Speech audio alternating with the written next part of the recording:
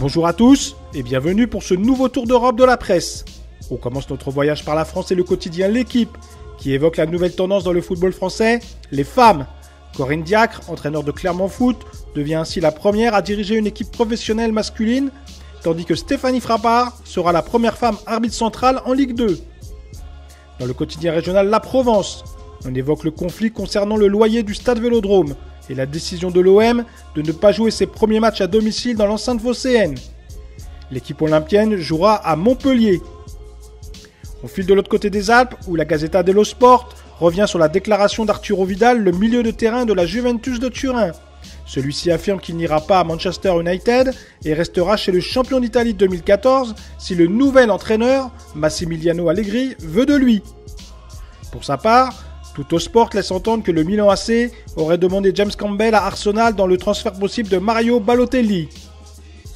En Espagne, As évoque le retour de Luis Suarez à la compétition. Celui-ci pourrait se faire lors du Classico entre le Real et le Barça, programmé pour le 26 octobre prochain à Bernabeu.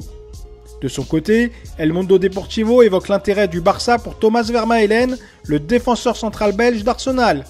Le club catalan abandonnerait ainsi la piste menant au joueur du PSG Marquinhos. On traverse la Manche pour rejoindre l'Angleterre où le Daily Mail revient sur l'intérêt de Manchester City pour le défenseur français Eliakim Mangala. Le journal explique que le transfert est encore loin d'être fait en raison du fair play financier.